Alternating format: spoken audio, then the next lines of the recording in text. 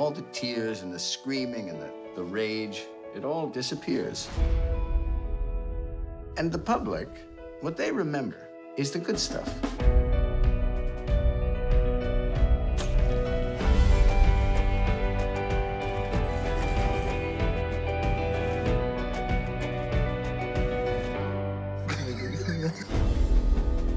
we are now going to be on an upward trajectory. This could bring us all down. The business, the family, everything. You're not to speak about my brother to anyone.